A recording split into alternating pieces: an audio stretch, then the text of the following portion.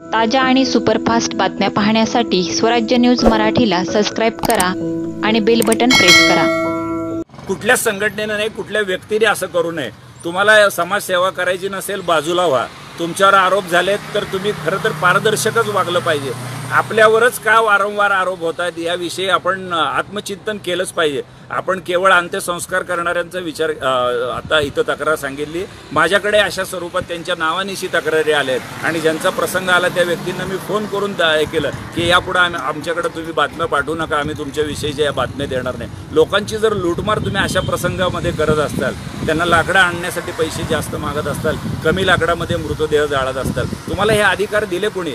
तुम्हाला समाजसेवा करा म्हणून सांगितलं कुणी होतं. जर जमत नसेल तर तुम्ही लोकांची तळतळाट तरी घेऊ नका. असाच प्रकार खाण्याच्या बाबतीत घडला. एकीकडं लोक मोठ्या प्रमाणावर अन्नदान करत असतात. समाजसेवेचा एक चांगला मार्ग आहे तो. लोकाभिमुख काम करण्याचा हा चांगला मार्ग आहे. पण काही लोक असं करतात दुर्दैवाने की क कच्चाच भात दे काहीतरी म्हणजे अन्नधान्य दे देतो ते निकृष्ट दर्जाचं दे. अरे कुठं फेडवलं आपण हे पाप? लोक अडचणीत आहेत. लोक भिकारी नाही आहेत लोकांचा प्रसंग असा आहे की त्यांना दुर्दैवाने त्या क्वारंटाईन सेंटरमध्ये राहावं लागतं. तिथं तुम्ही त्यांना छळता. ज्या आजारपणामध्ये आपण चांगलं चुकलं त्यांना द्या देण्याचा प्रयत्न केला पाहिजे. तुम्ही पैसे कमवण्यासाठी ते टेंडर घेतलं का? सर हा सगळा सवाल विचारला पाहिजे. जनतेने सुद्धा वेळ आल्यानंतर आपल्या मला लोकांच्या बाबतीत वाईट का वाटतं? लोक ह्या प्रवृत्तीला विसरतात. खरं तर आपल्या सोलापूर शहरामध्ये एक हजार दो दीड हजार वकील आहेत. चांगल्या मोठ्या पेशात काम करणारे इंजिनियर आहेत. समाजसेवी विविध संस्थांमध्ये खरंच प्रामाणिक काम करणं आहे. यांनी अशा टेंडरदारांच्या विरुद्ध लोक लोकप्रतिनिधींच्या विरुद्ध किंवा जे भ्रष्ट वागतात त्यांच्या विरुद्ध कोर्टामध्ये दाद मागितली पाहिजे. कोर्टाने सुद्धा सो मोटिव्ह बातम्या येतात. त्यावेळेला याची खबरदारी घेतली पाहिजे.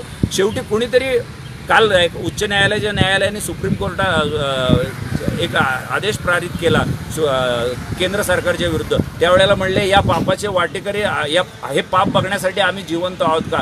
असं मौखिक त्यांनी त्या ह्याच्यामध्ये समालोचन केलं. असा सो मोटिव्ह काहीतरी याच्यामध्ये घेतला पाहिजे. वकील असतील न्यायाधीश असतील. अरे तुम्ही शेवटी या शहराचे नागरिक आहात ना? सगळेच मेल्यानंतर आपण राज्य कोणावर करणार आहे? याविषयीची आपण.